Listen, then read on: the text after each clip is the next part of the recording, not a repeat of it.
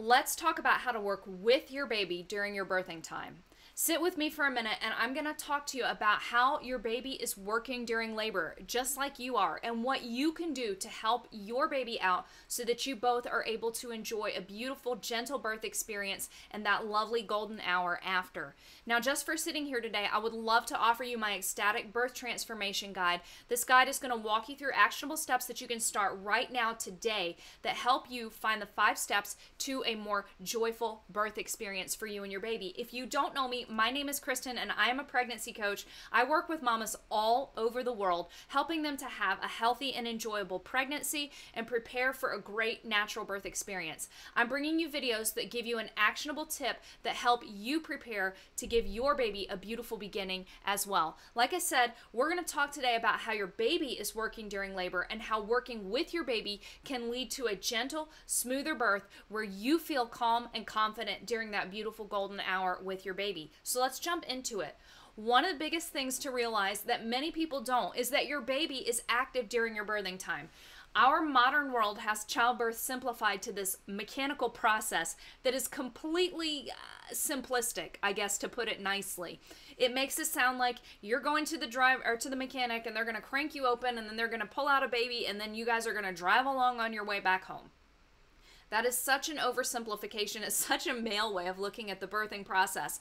The reality is that birth is very complex. It is a hormonal symphony, and multiple things are going on in your body. It's not just dilation. There's so many changes going on with your with your cervix, which is actually part of the uterus. It's not different, but so many changes going on in your cervix. Along with opening, it's also shortening. Your uterus is actually getting thicker and working hard, and it is the real champion of birth, not the cervix. The cervix is just getting out of the way. Your pelvic floor is also doing a lot, and the rest of your body is working hard as well. But even when I talk about that process and the hormones in your body, we leave out the baby, who is a really important part of birth. And I will tell you that obstetrics does consider the baby because it talks about the the the the passenger, and that's the baby, and the powers, and that's the mother's power, and all this nonsense, right? And we can think about that because it can be a helpful mental model at times. But the reality is is is you need to think about the fact that your baby is active during your birthing time. Your baby is active, and that's the biggest thing to realize. Your baby wants to be born too.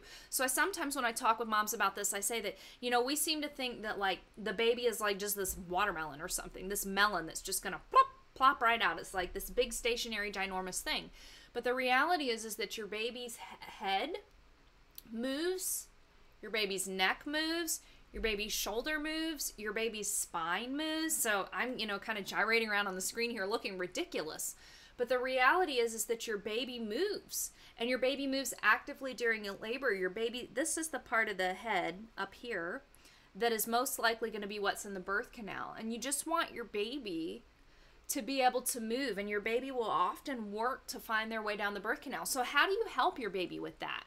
The biggest thing is that you change positions and you move with your baby. Changing positions, moving your body, especially moving your pelvis, creates a lot of mobility. Even if you're in the hospital and you feel like there's little mobility, you can find mobility there. Getting up on your hands and knees, rocking and swaying, standing on your partner and swaying, bringing a birth ball with you. Number one tip that I recommend for mamas going to the hospital when I talk to my clients is like, make sure your husband's hauling that birth ball in if the hospital doesn't have one, because you can get an incredible amount of movement in your pelvis in a very small space if you're sitting on that birth ball. So, getting you and getting your baby moving because that can often create an enormous amount of room. Sometimes it just takes a little bit. If you've been trying to push and push against anything and you know that if I can move it just a little bit, real story, I was working on getting wood into the wood stove today and somehow managed to put this ginormous piece in and it got wedged so I couldn't get it the rest of the way in.